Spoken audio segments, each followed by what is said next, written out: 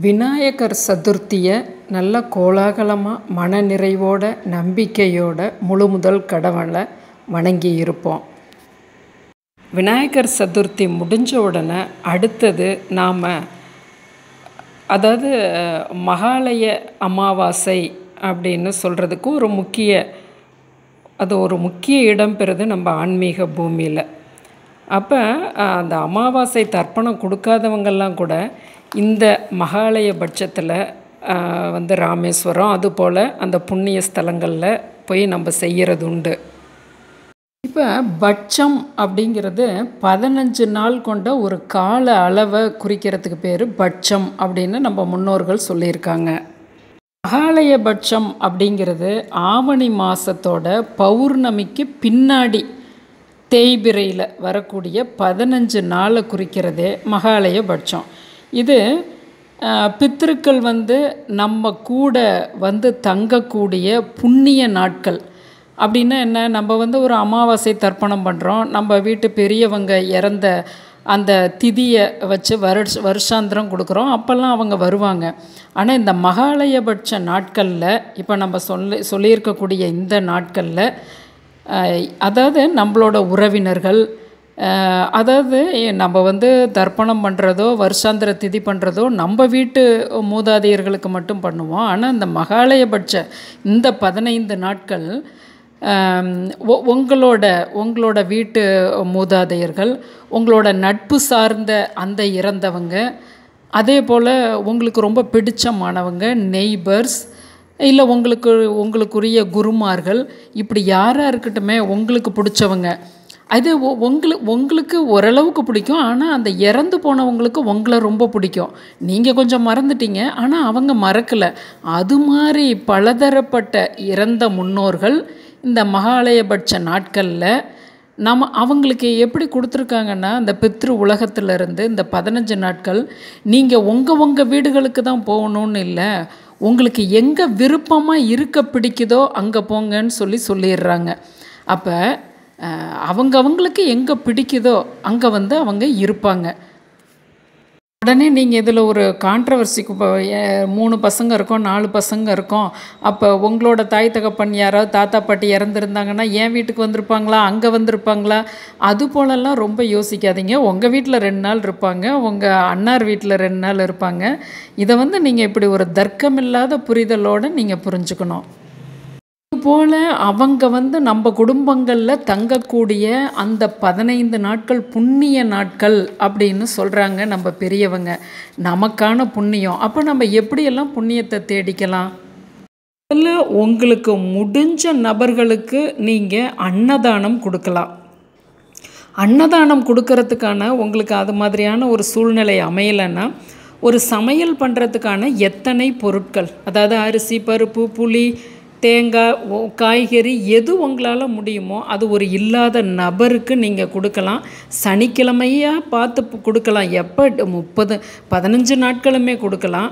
ஆனாலும் ஒரு நாளாவது நான் கொடுக்கணுன்னு விரும்புகிறேன் ஒருத்தருக்குன்னா சனிக்கிழமையை தேர்ந்தெடுத்து கொடுக்கலாம். ஏன்னா சனிங்கிறது நம்மளோட சனி பகவான் நம்ம கர்மகாரகன்னு சொல்கிறது நமக்கான நல்வினை தீவினையை கொடுக்கக்கூடியவர். அந்த நாட்கள் அந்த ஒரு நாள்லையாவது நீங்கள் கொடுக்கலாம். மற்றபடி பதினஞ்சு நாளுமே நீங்கள் அடுத்தவங்களுக்கு என்னென்ன தானம் பண்ணுறீங்களோ அவ்வளவுமே உங்கள் வீட்டில் இருக்கக்கூடிய இந்த பதினஞ்சு நாள் இந்த சூட்சம உடலில் இருக்கக்கூடிய உங்களோட பித்திருக்கள் உங்களை ஆசீர்வதிப்பாங்கங்கிறது பெரியோர்களோட ஒரு அசைக்க முடியாத வலிமையான வாக்கு.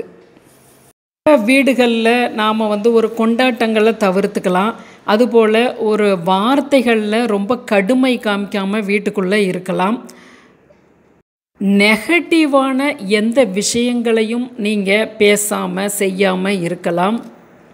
அந்த மகாலயபட்ச பதினஞ்சு நாட்களும் உங்கள் வீட்டில் உங்கள் பூஜை ரூமுக்கு பக்கத்துலேயே தென் திசையை நோக்கி தென்புலத்தார் அப்படின்னு சொல்லக்கூடிய அந்த தென் திசையை நோக்கி உங்களுக்கு யாரெல்லாம் விருப்பமோ நீங்கள் இப்படி ஒரே முறை இப்படி நீங்கள் வழிபட்டுக்கலாம். என்னோட வீட்டுக்கு எனக்கு பிடித்தவங்க என்னைய பிடித்தவங்க எத்தனை முன்னோர்கள் வந்திருக்கீங்களோ அனைவருக்கும் சரணம் அப்படின்னு சொல்லி ஒரு மானசீகமாக நீங்கள் ஒரு நன்றியை செலுத்திட்டு அடுத்தது நீங்கள் அந்த பூஜை வேலையை ஆரம்பிக்கலாம். பதினஞ்சு நாட்களுமே. எப்பெல்லாம் நீங்கள் இரவில் கொஞ்சம் கூட சாதம் இரவு நேரத்தில் வைக்கிற பழக்கம் இல்லாதவங்க கூட கொஞ்சமாக நீங்கள் இந்த சாதத்தை வச்சு அதை ஒருக்களிச்சது போல் ஒரு தட்டில் அப்படி திறந்தது போல் காற்று உள்ளே போய் வர மாதிரி அப்படி நீங்கள் ப பண்ணி வச்சுருந்துட்டு அடுத்த நாள் அந்த ஒரு கொஞ்சம் தானே ஒரு வாய் ரெண்டு வாய் சாதம் அது போல் வச்சு அடுத்த நாள் நீங்கள் அதை கொண்டு போய் செடிகள்கிட்ட அந்த செடிகள் இருக்கு இல்லையா மரம் செடி கொடிகள் அந்த இடத்துல ஒரு ரெண்டு கவளம் அந்த அந்த சாதத்தை நீங்கள் வச்சுட்டு வந்துட்டிங்கன்னா அங்கே எறும்புகள் வந்து சாப்பிட்ரும் அப்போ வீட்டில் இருக்க பெரியவங்க பசியை தீர்த்துக்கிறாங்க இரவு பொழுதுலங்கிற ஒரு ஒரு ப்ராக்டிக்கல் அந்த தாட்டை நீங்கள் கொண்டு வந்துடலாம் மகாலயபட்சங்கிறது ஆவணி மாதத்தோட பௌர்ணமிக்கு பின்னாடி வரக்கூடிய அந்த பாட்டியம்மை பிரதமைன்னு சொல்கிறோம் இல்லையா? அந்த தேய்பிறை பதினஞ்சு நாட்களை குறிக்குது. அவங்க தான் அப்போ தான் நம்மளுக்கு அந்த பித்திருக்கள் அந்த பதினஞ்சு நாட்கள் இருக்காங்க. அதை தொடர்ந்து வர்ற அந்த அமாவாசை அந்த அந்த தினத்தில் நாம் அந்த பதினஞ்சு நாட்கள்ங்கிறத நம்ம முடிச்சுக்கிறோம்.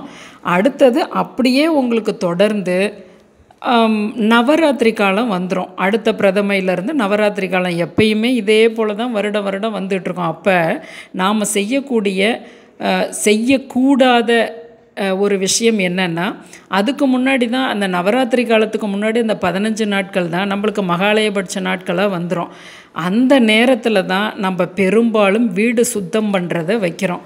அதை வைக்கக்கூடாது. அந்த அந்த பெரியவங்க எல்லாம் நம்ம வீட்டில் இருக்கும் பொழுது சூட்சமமாக நம்மளை சுற்றி காற்று ரூபத்தில் இருக்கும்போது நாம் விளக்கமாறு கையுமா மாப்புமா அப்படி தூக்கிட்டு இருந்தோன்னா எப்படி இருக்கும் இல்லையா அவங்களுக்கு? அதனால் நீங்கள் அந்த ஆவணி மாதம் அதாவது விநாயகர் சதுர்த்தி முடிஞ்ச மறுநாள்லேருந்தே நீங்கள் எதை எதை க்ளீன் பண்ணணும் அந்த செல்ஃபு க்ளீன் பண்ணுமா வீடா ஒட்டடை அடிக்கிறதா எதை எதெல்லாம் நீங்கள் கொஞ்சம் ஒரு நீண்ட ஒரு அந்த டப்பாக்களை கிச்சன் செல்ஃபு அது போல் எல்லாமே நீங்கள் ஒவ்வொரு நாள் பார்த்து பார்த்து செய்துக்கலாம்.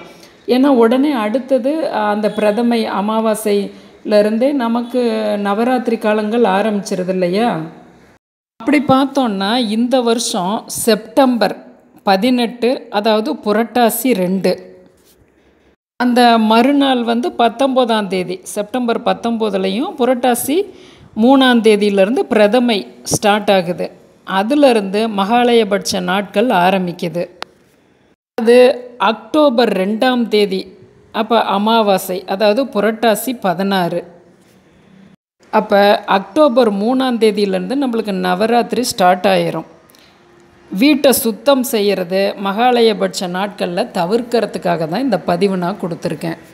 இப்போ சுத்தம் செய்கிறது எப்போ அப்படின்னு வச்சுக்கிட்டோம்னா செப்டம்பர் பதினேழாம் தேதிக்கும் முன்னாடியே நாம் வீடுகளை சுத்தம் பண்ணிடலாம் அதாவது ஆவணி மாதம் முப்பத்தி ஒன்றாம் தேதிக்குள்ளே நாம் அந்த எது எது நம்ம சுத்தம் பண்ணோம் என்ன எதுன்னு பார்த்து பண்ணிடலாம் இத்தனை வருட காலமாக நாம் இப்படியே செய்திருந்தாலும் இந்த வருடத்துல இருந்து கூட நீங்கள் இப்படியே ஆரம்பிக்கலாம். ஏன்னா மகாலயபட்சத்தில் இவ்வளவு பித்திருக்கள் இருக்கும்போது இது புண்ணிய நாட்களாக நமக்கு இருக்கும்போது ஒவ்வொரு குடும்பத்துக்கும் பித்ரு தோஷங்கிறது ரொம்ப கடுமையான வலிமையான தோஷம்.